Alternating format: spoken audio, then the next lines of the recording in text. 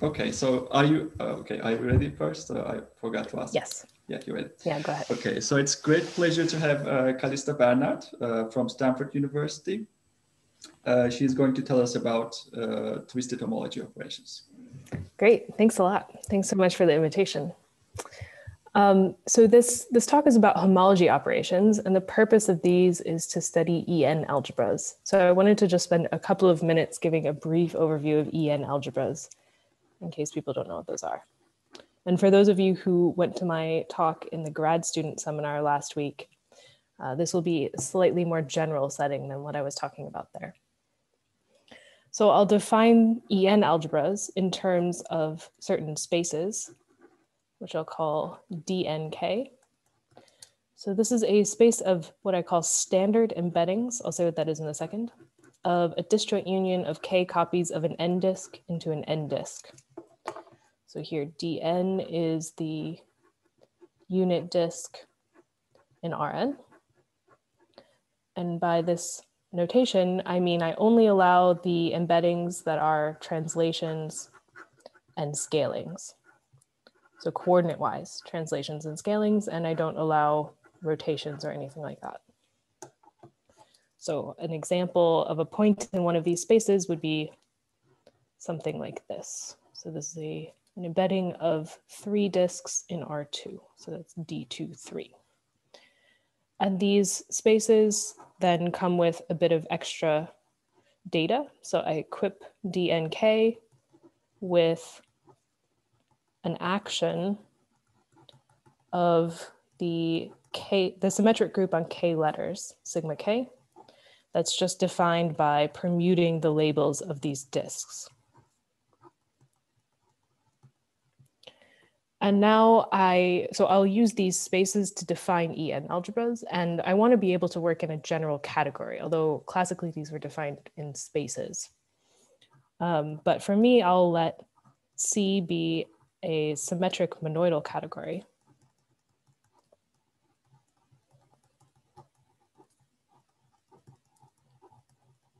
So monoidal means I have a notion of product in this category, and I'll denote this product with a tensor symbol.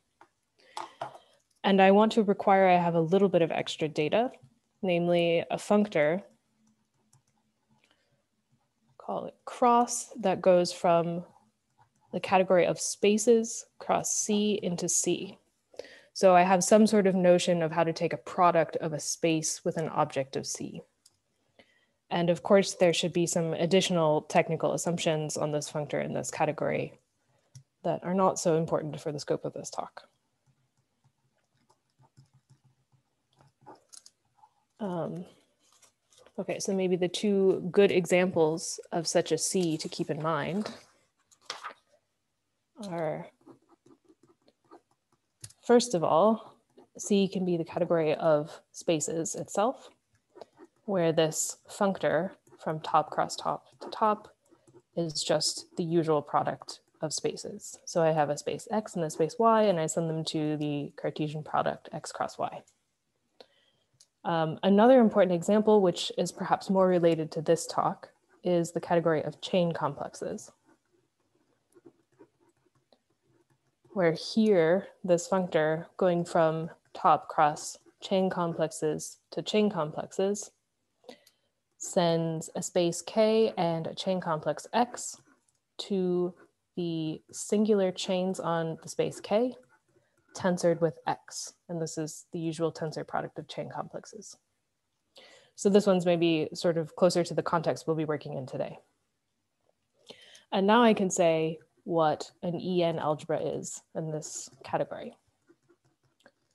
So an EN algebra in this category C consists of the data of some object X and C together with a bunch of maps going from say DNK cross the k-fold power of X with itself and landing in X. And I have one of these maps for all K and they should satisfy some additional conditions that I won't spell out in detail. Um, there's an equivariance condition um, an associativity condition, and a unit condition. So a couple of comments about this definition. First of all, you should think of this as saying that the space DNK parametrizes K-ary operations on X. Sort of for every point in this space, I get an operation on X. Um, this equivariance condition can sort of be summarized as saying that this map should factor through the quotient by the symmetric group action. So what I mean by that is here I have this action of the symmetric group on this space DNK by permuting the disks, and I have an action of the symmetric group on this k-fold tensor power by permuting the factors. That's because I have a symmetric monoidal category. And so if I permute the labels of the disks and then multiply, that should be the same thing as not permuting the labels, but permuting the factors instead and then multiplying. And the associativity says something about, I have some information about how these operations compose and they should be appropriately associative. And the unit condition says that the identity embedding of one disk into itself gives the identity map on X. But the specifics of these conditions are not so important. Um, and it turns out there are a lot of examples of EN algebras in, in various different areas of math, and we'll see a couple of examples in this talk. Um, I do want to give one important construction here that I'll use a bit, namely the construction of free EN algebras. So you can think of this as a functor going from C to a category of EN algebras in C. And I'll denote this functor by EN parentheses. And this takes an object X of C and sends it to the coproduct over all K of this space D and K cross with the K-fold tensor power of X, and then I mod out by the symmetric group action. Um, okay, so the details are not so important, but this is some sort of free EN algebra construction, and it should be left adjoint to the forgetful functor. Um, okay, so hopefully this gives you some vague idea of what EN algebras are um, before we start constructing these tools for analyzing them. Are there any questions about this?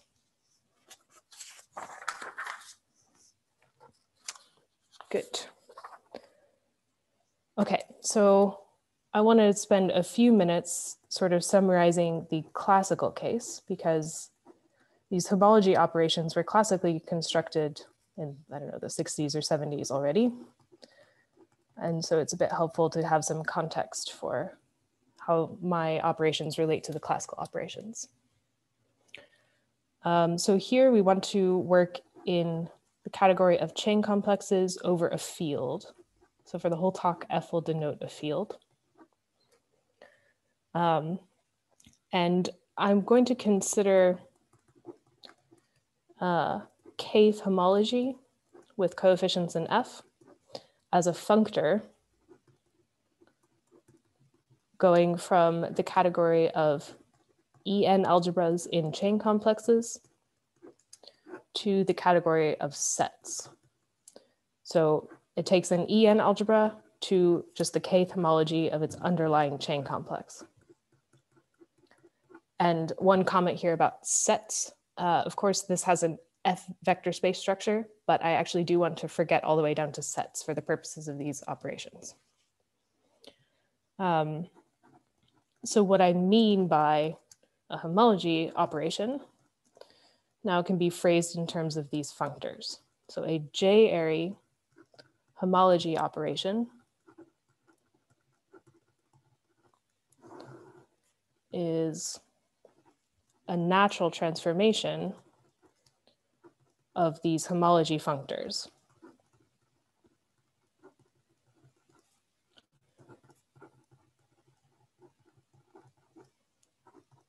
So a bit more explicitly, uh, the J-ary part refers to having J inputs. So I'll actually have something like going from the L1 homology cross all the way up to the LJ homology. So that's my J inputs and I'll land in, say, the mth homology. So here L1 up to LJ and M are any integers. So they there need not be any relationship between them. Um, and so I want to look at all natural transformations like this.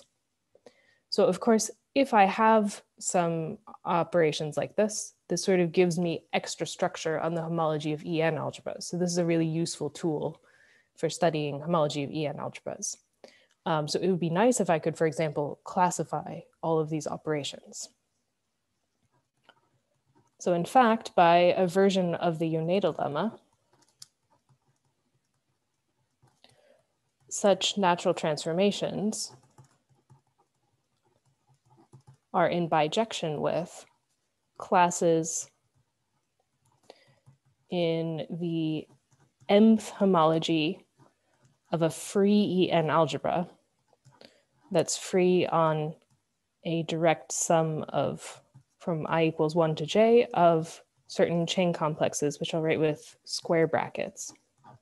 So this is this free EN algebra functor that I mentioned on the left. And the square brackets notation means that I have a chain complex that's just zero everywhere except for a single copy of F. And that copy of F is in degree Li here. So this means that if I have an understanding of the homology of free EN algebras, then I can classify all operations. So now I can state the, the classical result. So for this, we are going to let the fields F be FP, the field with P elements. Can I ask you a no. question, Jules? Uh, two questions actually. One is, uh, is there a particular reason you define the homology as a functor to sets rather than abelian groups or field in this case? Yeah, I mean, spaces. The main reason for that is I want to consider operations that don't necessarily factor through a tensor product, for example. So it just allows me to consider more general operations. Um, they're, they're not additive at all, these operations? Yeah, they don't have to be. Oh. Yeah, so some of the operations, then it's sort of part of the theorem that you have to prove that they're additive or something like that. No, the second question is the classes in this EN algebra. What do you mean by homology of EN algebra then? Is it a homology of an algebra or? Ah, yeah. So here the free EN algebra is, I mean, it's an EN algebra in chain complexes. So it's a chain complex with extra structure. So what hmm. I mean by that is just forget the extra structure and just take the homology of the chain complex. Thanks. Sure. Thanks. Set pointed sets. Um, I don't think so. Um, yeah, I don't think that's important in general. Sure. Um, good. Okay, so now where I can state the result when f is fp. And for the purposes of this talk, I'm uh, going to... It's, it's a little hard to see the top part. Could you just shift oh. it a little down? Okay. Is that better? Yes. Good. Um, okay, so for this talk, I'm going to let P be an odd prime. Uh, of course, there's a perfectly reasonable theory for P equals two, but the formulas look a little bit different for P equals two. And we'll see later on that for twisted coefficients, P equals two is a little bit boring. So I'm just going to only state things for odd primes here. So this classical story is due to Fred Cohen and Peter May, who showed that all operations on EN algebras are generated by the following list. So first of all, we have a product, which is a binary operation. So it has two inputs, as you might expect. So this goes from H L1 tensor HL2 and lands in L1 plus L2 homology. Here I do really mean tensor product. So this, this is defined on a Cartesian product, but then it actually is bilinear and does factor through the tensor product. Um, then I have a bunch of operations, which are usually called Dyer-Lashof operations or Dyer-Lashof-Kudo-Araki operations. And uh, these are unary operations, so they only take one input. And they're usually written something like QS, going from the L homology to the L plus 2S times P minus 1 homology. And for each of these, I also have something that I'll write as Bockstein or beta of that, which goes from L homology and lands in one degree lower. So L plus 2s times p minus 1 minus 1. And I have one of these operations whenever 2s minus L is between 0 and n minus 1. Sorry, I ran out of space a bit there. So here this n matches the n of en. So if I have if I let n increase, I get more and more of these operations. And in particular for E infinity algebras, I have infinitely many of these operations. Um, one other comment, this notation suggestively is written like this. So if you have a Bockstein homomorphism, then this operation is Bockstein of QS. But this is defined in situations where there is no Bockstein. So you should think of it as sort of it's being its own operation. Okay, and then the last operation that you get is only needed for en when n is finite. And this is called the Browder bracket, which is again a binary operation. So this one I'll write with a bracket notation. And it goes from L1 homology, again, it actually factors through the tensor product so L1 tensor L2 homology, and lands in L1 plus L2 plus n minus 1 homology. Okay, so these are the particular operations that Cohen and May work with. And then they show, they, they do a computation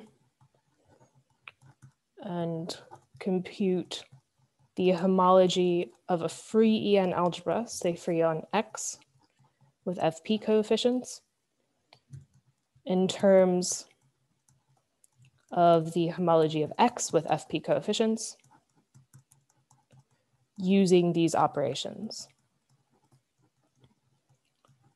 So slightly more explicitly, they start with the homology of X and then they sort of formally apply these operations and mod out by certain relations. And they show that that gives a description of the homology of the free EN algebra on X. So then, because they've given a description of the homology of free things by this discussion we had on the left, that gives a classification of all operations in terms of these operations.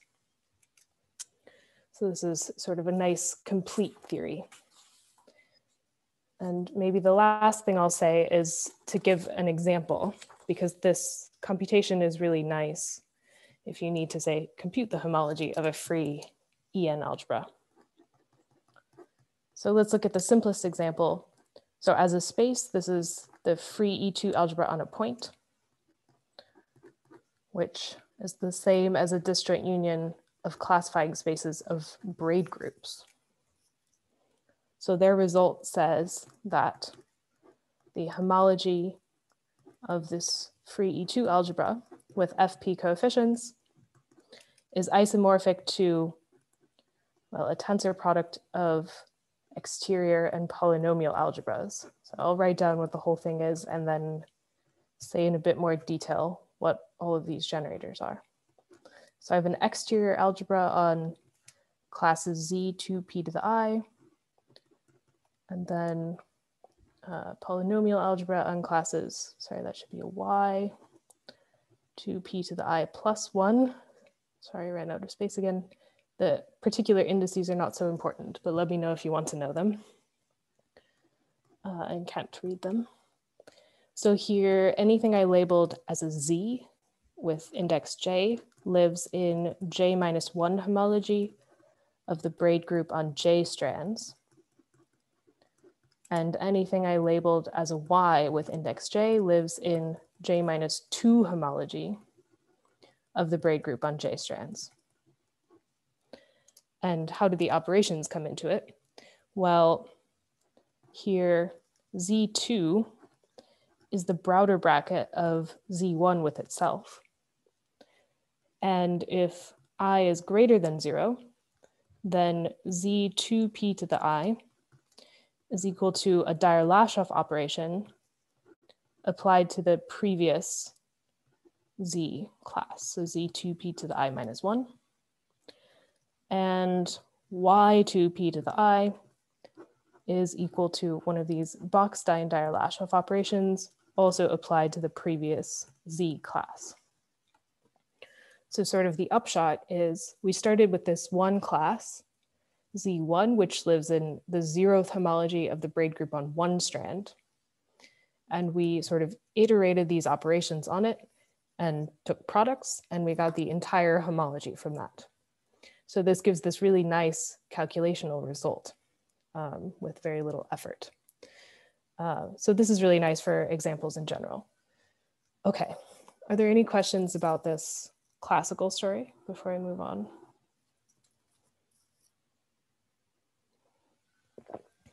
All right. So let's talk about my work on twisted homology. The goal of this is just to generalize what I what I just explained and to develop a theory of operations on the twisted homology of EN algebras. So for homology with certain twisted coefficient systems, I would like to come up with a complete theory like Cohen and May did. Um, so before I actually get into how to do this, I think maybe it's useful if I say something about motivation. Um, one reason to do this is these operations, especially these Dyer-Lashof operations, are sort of very fundamental objects in algebraic topology. And so having a more general version of them could be considered as foundational work in some sense. Um, and there will hopefully be a lot of interesting applications.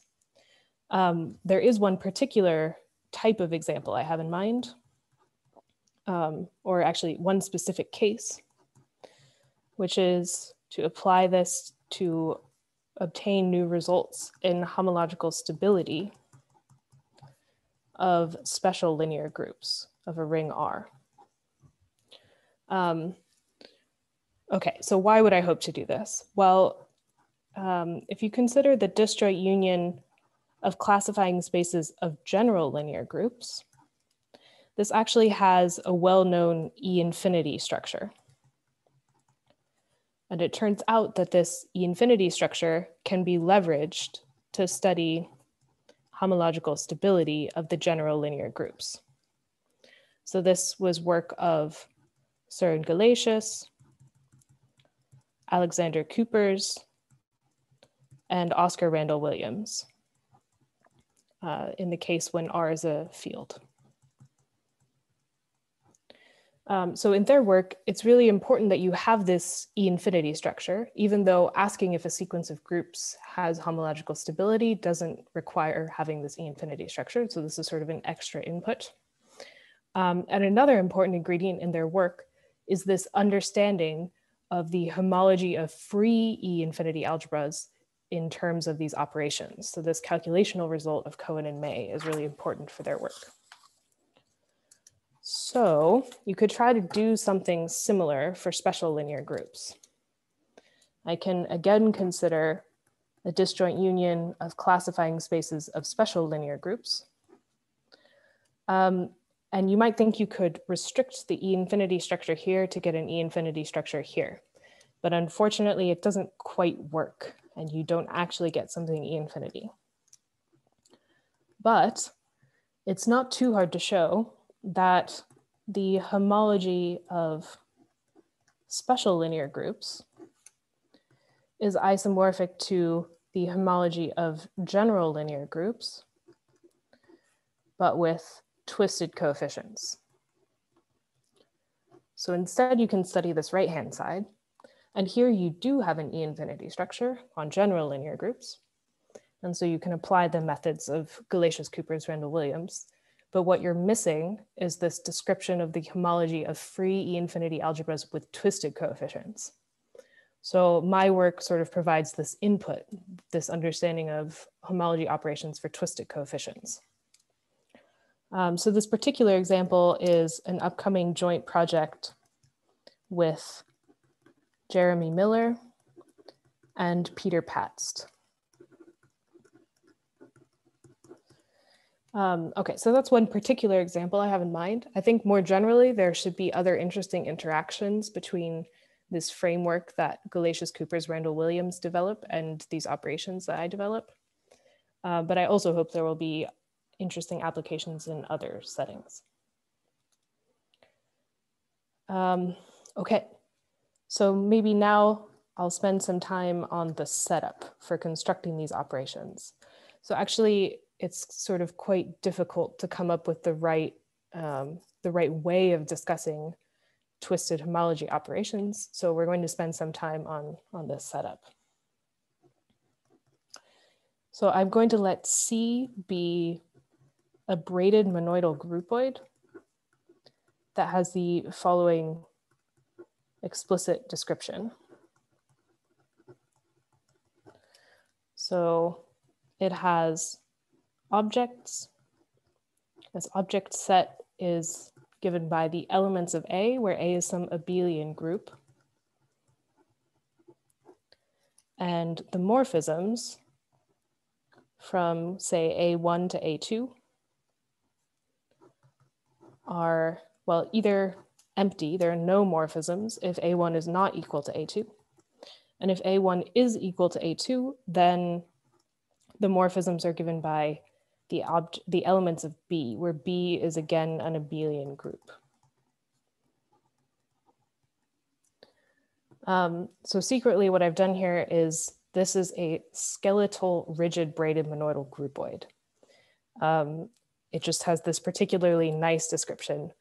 Uh, so you can just think of it being like this and don't worry about what all of those words mean.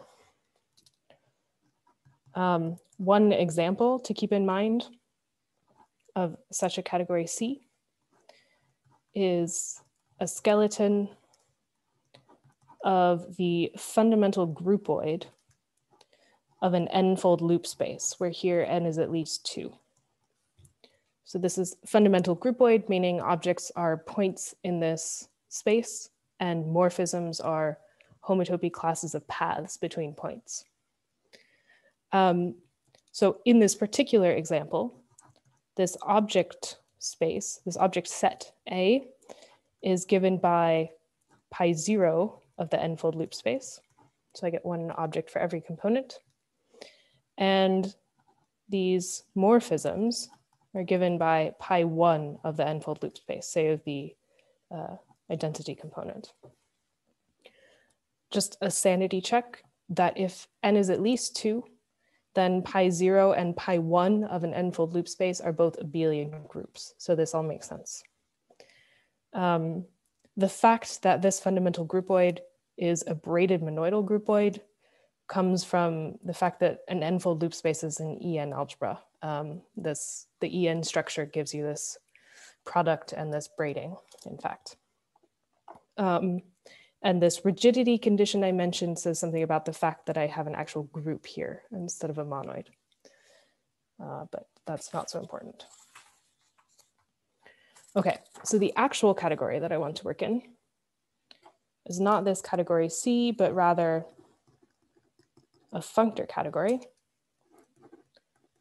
Um, in particular, the category of functors from C into chain complexes over F. So this functor category can be equipped with a monoidal structure, which is called the Day convolution monoidal structure.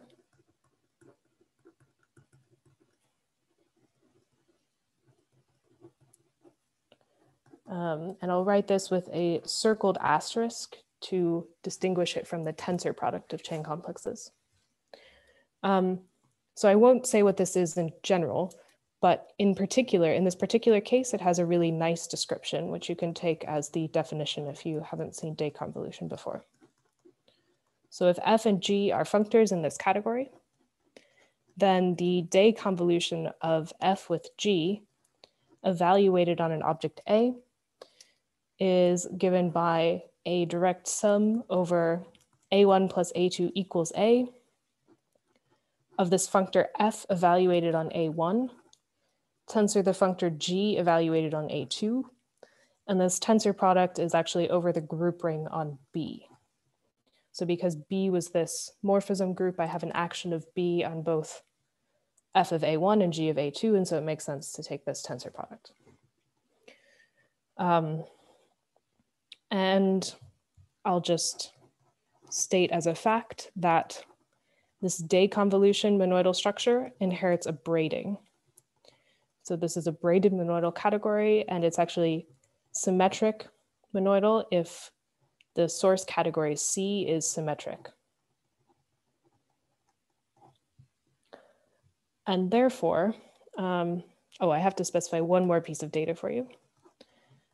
I want to consider EN algebras in this category. So I need to define this functor I said at the beginning that allows me to take the product of one of these functors with a space. So here, given a space K and a functor X, um, I obtain the functor that sends an object A to singular chains on K, tensored with the functor X evaluated on A. So X evaluated on A is a chain complex, and this is the ordinary tensor product of chain complexes.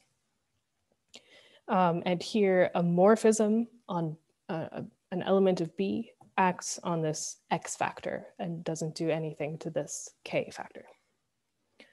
Okay, so this defines this product with spaces that I had at the beginning. And therefore, it makes sense to consider EN algebras in this functor category. And so that's where I want to actually work to construct these operations. I want to make one brief comment about this braided monoidal versus symmetric monoidal thing. Again, not so important for this talk, but at the beginning I did only define EN algebras in symmetric monoidal categories. In fact, there is a notion of E2 algebras in a braided monoidal category. There's some sort of braided E2 operad, and you can define that notion in braided monoidal categories. So for the case of E2, we actually allow braided monoidal. Otherwise, we will work with symmetric monoidal. Okay.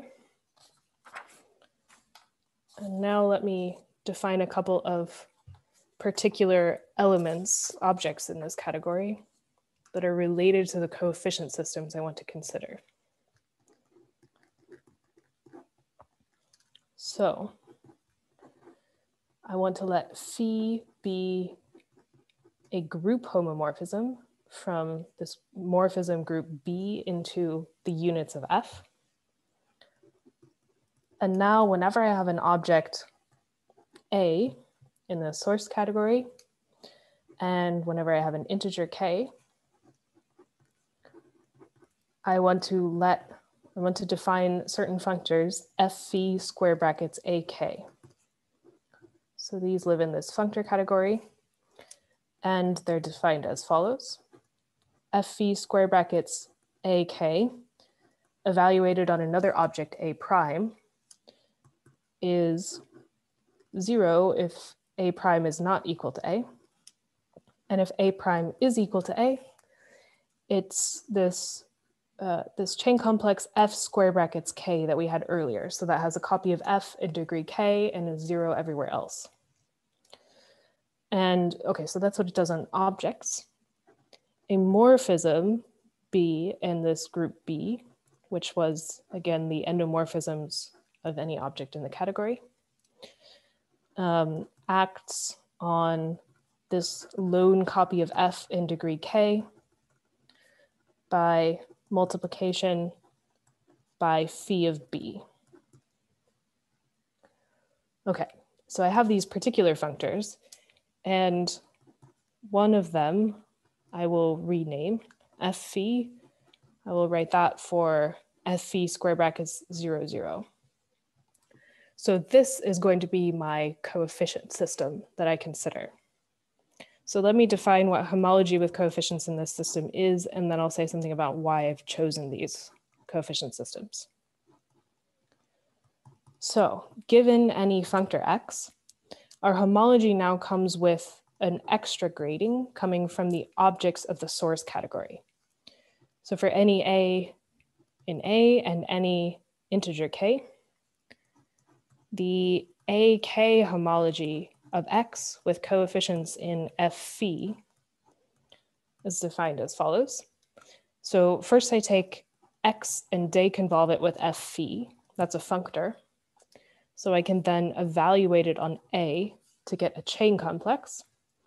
And then I can take the ordinary kth homology of this chain complex. So that's what I mean by homology. Now we can actually rewrite this a little bit more explicitly using this description of day convolution I gave over here. So this is isomorphic to the kth homology of x evaluated on A, tensor over the group ring on B with F, where here B acts on F using this morphism. So there's some non-trivial action going on here. So this maybe looks a little bit more like twisted coefficients that you're used to seeing. Uh, is this an FP or F5 on the, just a line ah, above? This one? The last one, yes. Yeah, that's a, a, a phi, sorry. Okay. Yeah. Um, can I ask a question too? Sorry. Yeah. Uh, the category you took, uh, you said it's a groupoid, but from description, it sounds like it's a discrete category, right? That you only have morphism when things are not uh, equal. Is that, yeah, is that right? The, the problem. Is that what you mean by discrete? Uh, sorry. Can you apply it as a groupoid or? Ah, so this category C is still a groupoid because since B is an abelian group, all of these morphisms are invertible. And then I just yes. have no other morphisms. I, everything is discrete. Exactly. So no, no isomorphism they're. Exactly, yeah yeah so i've sort of taken a skeleton of yeah it's a skeletal category and when you say phi f zero zero what do you mean by zero there? You you have zero objects also? Ah that's very good. This is maybe slightly ambiguous. Here i mean the identity element in a. Okay, thanks. The additive identity. Yeah you're right. That's a bit confusing. Um, good. Other questions about these definitions? Mm, but aren't you supposed to objects in there? A is, uh, uh, huh, so. Yeah, sorry. So this, it's a bit confusing the A versus C. So A is the objects of the category C. Okay. Um, but A is itself an abelian group so zero I wrote for the identity of the abelian group, which also is the monoidal unit of the category C.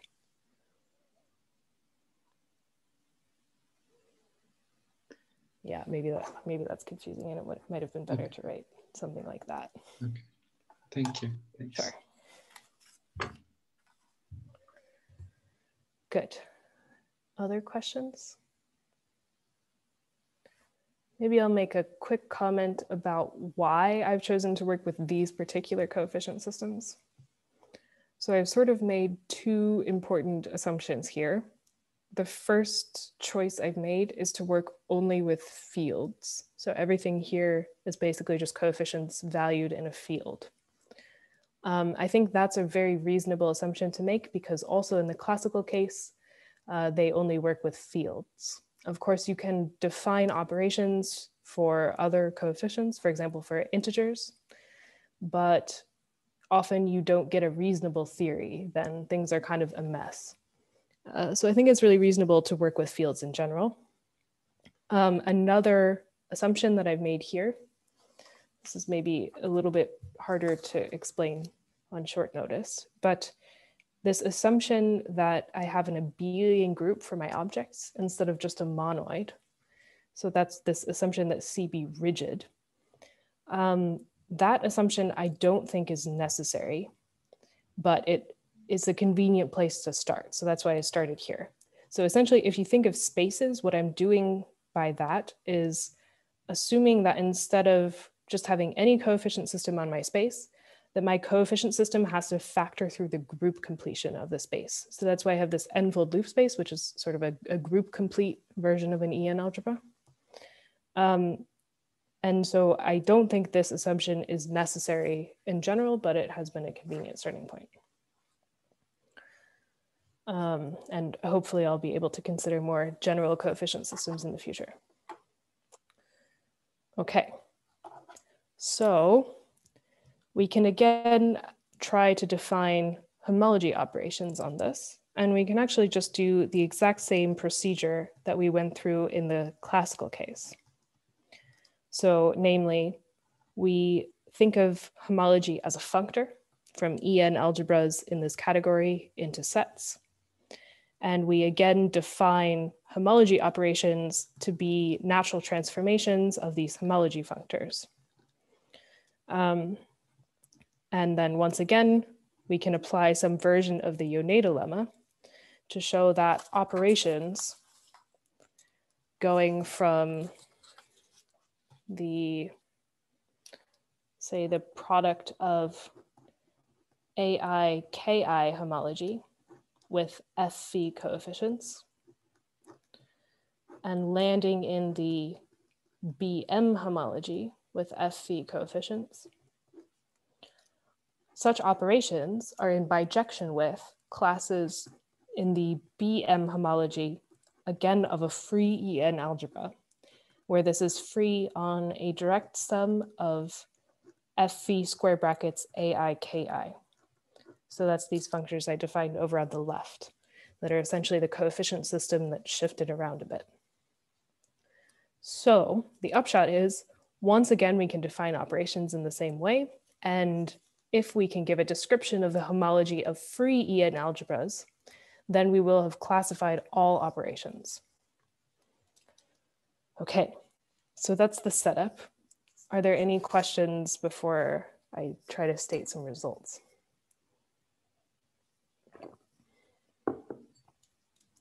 Okay, so let me say something about the E infinity case. Um, so this is the one case where I have some actual complete results. Um, so once again, I said before that this source category I will require to be symmetric monoidal, one certainly for E infinity, in order to get a symmetric monoidal functor category. Um, so one sort of trivial consequence of this that actually turns out to be very important is the following. So if I have any, any object in the category C, and I consider the braiding morphism on A. So if I have the morphism that goes from A plus A to A plus A and just swaps the factors. Um, so this is the braiding. Then since since C is symmetric monoidal, this must satisfy that if I do the braiding twice, I get the identity, which in particular means that this, this group homomorphism, phi, applied to the braiding morphism and squared is equal to one. So phi of this braiding morphism, therefore, can only be plus or minus one. So having this condition that the source category be symmetric monoidal puts a big restriction on the coefficient systems that we can consider because we can only get this action by plus or minus one of these particular morphisms. That might seem very restrictive. In fact, this is already enough to say something about this example I mentioned earlier of special linear groups. So it still does have some applications. Um, and another comment that this is why I said I would only work with odd primes. Because if plus one is equal to minus one, then these morphisms just always act trivially, and that's not so interesting.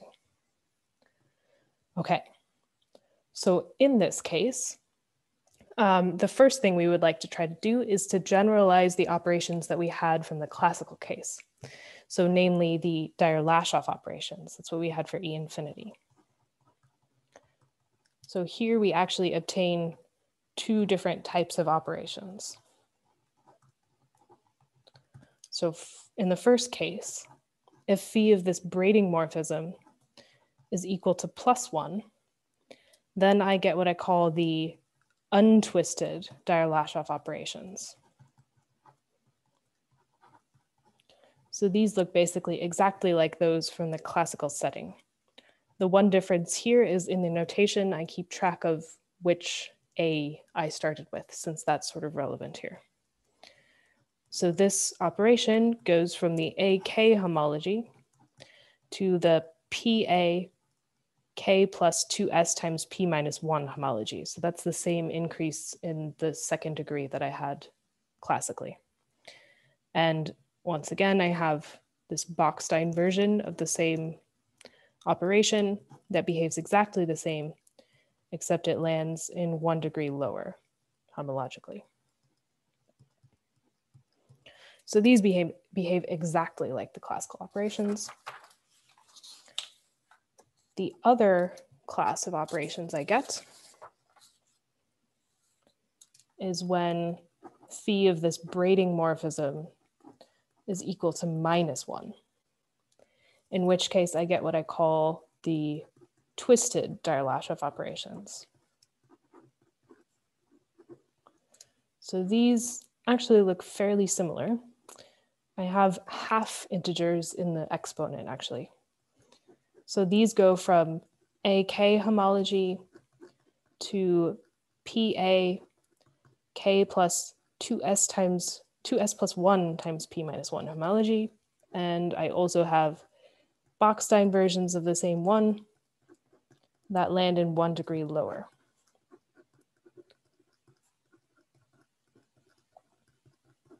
Um, Okay, so this notation I use here, I've chosen this because in both cases, in homological degree, the operations raise degree by twice this index times p minus one.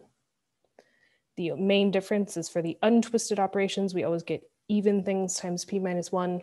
And for the twisted operations, we get odd things times p minus one. Um, okay, so I construct all of these operations and then I prove that they satisfy a bunch of relations. Um, so these are all versions of the usual relations that the classical operations satisfy. So if you're familiar with those, you satisfy things like the Adem relations and the Cartan formulas, etc. These relations all look very similar to the classical ones, they just have slightly different constants. Okay, and then it turns out that these operations are enough to generate all operations. Well, these operations plus a product. So to show that, I define a free functor,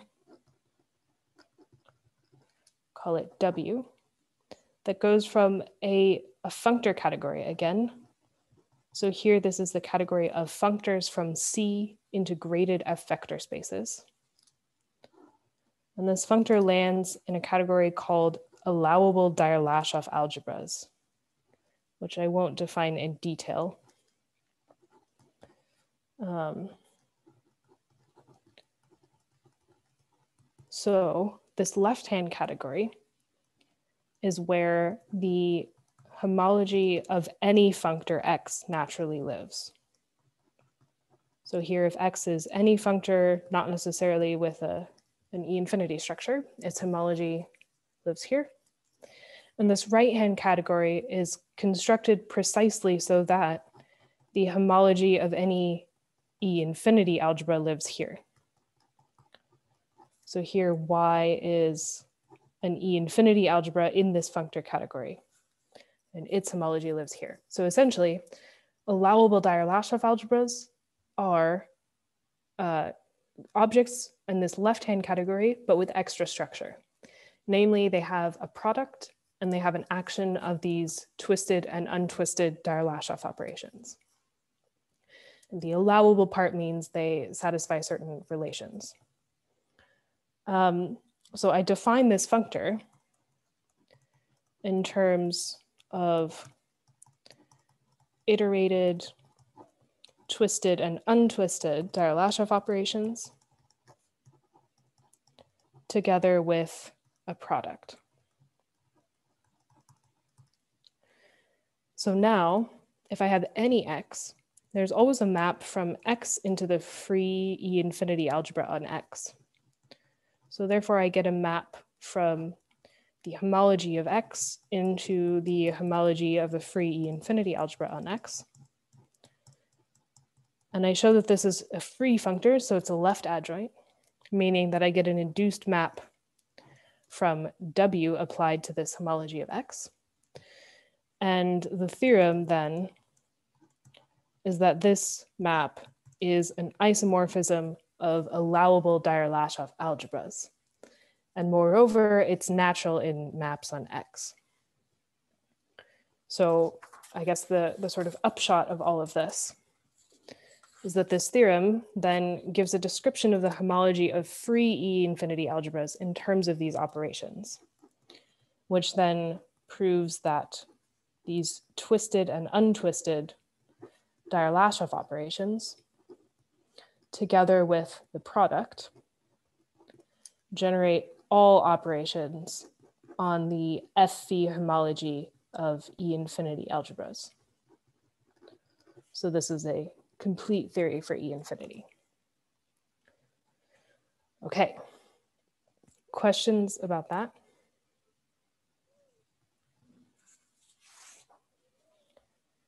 In the last few minutes, I want to say a few words about the E2 case. So this is a case where I have some partial results. Um, and here the theory, like for E infinity, this theory seems sort of very similar to the classical theory. I defined these twisted versions of the classical operations, and then everything worked out the same way as it did classically. For E2, things are a little bit different. The reason being that since this is the one case where I can allow my source category to be braided monoidal rather than symmetric monoidal. And therefore, this gives me a much richer class of coefficient systems because I don't have this condition anymore that these braiding morphisms have to act as plus or minus one. Sorry, suddenly my everything seems very blurry. Hopefully you can see mm. okay. Can I ask you a question? Maybe it yeah. will ah clear now. what do you mean by allowable Dyer-Lashof algebras? What's ah. the definition of it, or what does it mean? It's it's there are a lot of sort of annoying formulas to write out. So I saying it explicitly is difficult. So basically, objects here are functors from C integrated vector spaces with an action of these twisted and untwisted Dyer-Lashof operations, and also a product. So they're sort of like a, a module, they have an action of the Dyer-Lashof operations, um, and they're an algebra in the sense that they have a product. Uh, the allowable part just means that there are certain relations that hold. So the classical operations, for example, are zero in certain degrees. So you have something like that here, where to be allowable, you need to require that certain operations act by zero in the appropriate degrees and things like that. Does that help? Thanks. Um, ah, the Browder bracket was, that is a very good question. Classically, the Browder bracket is only for En algebras when n is less than infinity. So you can define a Browder, define these Browder brackets on E infinity, but they're, they're actually all zero. Um, but the Browder bracket will come up in the E2 case. In fact, that's the interesting part in the E2 case. Um, so for E2, we then again want to try to generalize all of the classical operations. So we had this product, we had these Dyer-Lashof operations, and this Browder bracket. So it turns out that uh, Dyer-Lashof operations come from certain classes in the homology of braid groups on p strands. And here this is with twisted coefficients. And these operations have already been computed um, by a bunch of people in various settings. So there's a paper of Markarian. There's a paper of Callegaro and a paper of Ellenberg, Tran, and Westerland. So from these computational results, um, I already know sort of what possible operations I can get that might take the place of the Dyer-Lashof operations. And it's not too difficult for me to show that you again get these certain twisted and untwisted versions of the Dyer-Lashof operations, and they be behave sort of similarly to in the E infinity setting. Of course, there are some differences. E2 is different from E infinity. There are fewer operations. But once again, you have this behavior of these twisted and untwisted things, and otherwise, there's not there's nothing new coming here. But what is different is when we try to generalize the Browder bracket. So the Browder bracket was this binary operation. So instead of looking for binary operations, I'm going to go ahead and look for more general operations. So namely, I'll look for M-ary operations, where M is at least two, that look like the following. So first of all, they factor through the tensor product because that's what I had for the Browder bracket classically. So they, they take in a tensor product of M different homologies and they land in homology in degree, well, I sum up the AI degrees for the A degree. I sum up the KI degrees and then I add M minus one. So the reason I look at operations like this is that if I had a Browder bracket and I iterated it to get an M-ary operation, it would look like this. So this is somehow more general than the usual Browder bracket. And it turns out that such operations come from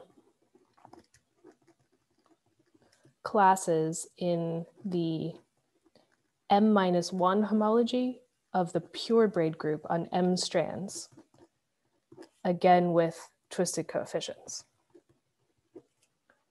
Um, okay, so I've done some computations of these homologies, and I have some understanding of, of how these operations compose with one another. And so then what I've shown is that there exist situations in which you get really interesting behavior. So maybe I'll say situations arise in which there exist a bunch of these operations, specifically n minus 2 factorial linearly independent operations like this. So like this, meaning of this form on the left. However, none of them decompose into operations on fewer inputs. Um, so this was actually quite surprising. Um, I sort of expected that either you would get a Browder bracket like normal, or it would be zero, and that would be that. But here there are cases where the Browder bracket is zero, but I have some operations that look like an iterated Browder bracket that pop up. And moreover, these operations are needed to generate all homology, sorry, to generate all operations. Um, so even in the simplest case of the free E2 algebra on a point, I can write down coefficient systems where you need one of these new operations and there's no normal Browder bracket. So understanding these seems like the, the difficult part of E2. Um, but I conjecture that these are all the operations you need, that these, these new Browder operations together with these twisted and untwisted Dyer-Lashof operations and the product are enough to generate all E2 operations. But I'm out of time, so I'll stop there. Okay, thank you very much, Calista, for the great talk. Um, so any questions uh, for Calista?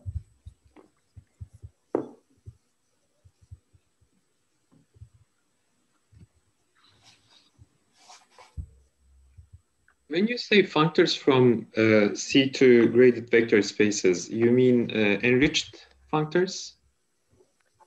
Um, enriched in abelian groups? Yes. Yeah, I do. Thank you.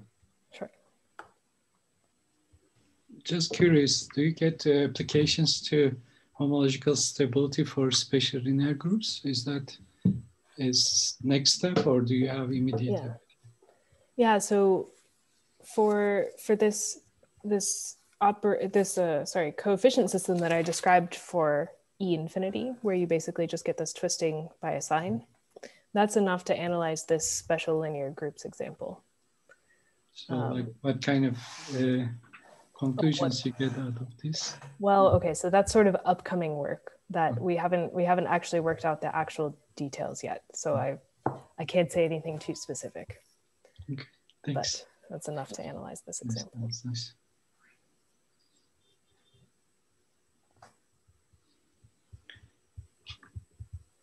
I have a second question if you have a minute. Uh, there's this uh, work by Martin Langer about the Dyer-Lashof operations on Tate cohomology of finite groups. Okay. Maybe you, uh, he was a PhD student of uh, Schwede, I think, and worked with Wolfgang Lück. And he developed a, um, I guess, the infinity structure argument for finding Dyer-Lashof operations for Tate cohomology. And by doing so, he was able to combine the Steenrod operations also into the picture because the Tate cohomology has both uh, homology and cohomology. So are these uh, constructions you have will have some twisted Steenrod operation thing as well, or is it oh. possible to do the same here? So the answer is I think so but I haven't worked it out yet. Okay. So there's there's this old paper of Peter May where he talks about how to sort of unify the Dyer-Lashof operations and the Steenrod operations. So if you consider chain complexes that are unbounded, um, then you can consider mm. cochains on a space as a negatively graded chain complex, and that's an E infinity algebra with the cup product structure on the cochain level, and then the Dyer-Lashof operations there are precisely the Steenrod operations. So I think in this setting, since I am working with functors into unbounded chain complexes, um, I think that I should be able to say something about twisted Steenrod operations as well. But I haven't quite worked out the details yet. I guess in the finite group case, you already have complete resolutions, which uh, is used for defining Tate cohomology. So Maybe uh-huh. that's a similar idea that what yeah. Martin is. Yeah, probably something like that. Okay, thank you. Sure.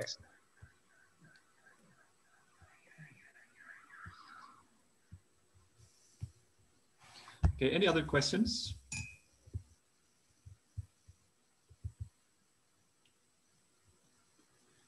Okay, so let's thank Calista again. Thank you very much.